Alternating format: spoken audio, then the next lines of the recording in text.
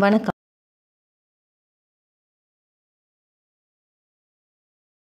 வணக்கம். சின்னகுரு சேனலுக்கு உங்கள் அனைவரையும் அன்புடன் வரவேற்கிறேன். கை வெளிக்க மாவு பேசுகிறீங்களா இந்த மெத்தடு ஃபாலோ பண்ணுங்கள் கோதுமை மாவு எடுத்துக்கோங்க. அரை ஸ்பூன் தேவையான அளவு உப்பு சேர்த்துக்கோங்க. நல்லா கலந்து விட்டுட்டு தண்ணி தெளித்து நல்லா பிசைஞ்சிட்டேன் ஒரு ஸ்பூன் எண்ணெய் விடுங்க. நல்லா மாவு மேலே நல்லா தடவி வச்சிடுங்க அதை நல்லா சின்ன சின்ன பீஸாக கட் பண்ணி மிக்ஸி ஜாரில் சேர்த்து ஒரு சுற்று சுற்றுங்க சுற்றுனீங்கன்னா இந்த மாதிரி தரல் தரலாக வரும்.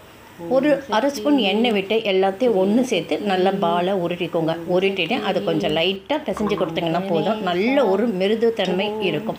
சப்பாத்திக்கும் சரி பூரிக்கும் சரி இந்த ஒரு மாவே நல்லா சாஃப்ட்னஸ் கொடுக்கும்.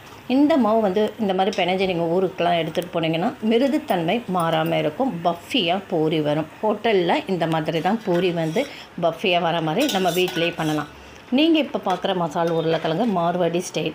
எண்ணெய் விடுங்க சோம்பு போடுங்க கருவேப்பிலை போடுங்க வெங்காயம் நிறைய நீல வாக்கில் கட் பண்ணி செய்கிறங்க தக்காளி ஒன்று சின் மீடி சைஸில் கட் பண்ணி அதையும் சேர்த்து வதக்கி கொடுப்போம். பச்சை மிளகா காரத்துக்கு ஏற்ற மாதிரி நல்ல காரசாரமாக இருக்கிற மாதிரி ஐந்து பச்சை மிளகா போடுங்க. உங்கள் காரத்துக்கு ஏற்ற மாதிரி. உருளைக்கிழங்க நாலு வேக வச்சு மசிச்சுக்கோங்க. கையில் ஒன்றுண்டா அதையும் சேர்த்துட்டு தேவையான அளவு தண்ணி உப்பு மஞ்சத்தூள் போட்டு கலந்து விட்டுட்டு கரம் மசாலா ஒரு கால் ஸ்பூனுக்கு கொஞ்சம் கூட போட்டு அதையும் கலந்து விடுங்க. மார்வாடி ஸ்டைலில் உருளைக்கிழங்கு மசால் ரெடி ஆகிடும் அருமையான பஃபி பூரியோட மார்வாடி ஸ்டைல் உருளைக்கிழங்கு மசால் சேர்ந்து பரிமாறுங்க. ரொம்பவே நல்லா இருக்கும் ஹோட்டல் சுவையில். இந்த வீடியோ உங்களுக்கு பிடிச்சிருந்தால் லைக் பண்ணுங்கள் ஷேர் பண்ணுங்கள் சப்ஸ்கிரைப் பண்ணுங்கள் கமெண்ட் பண்ணுங்கள் நன்றி.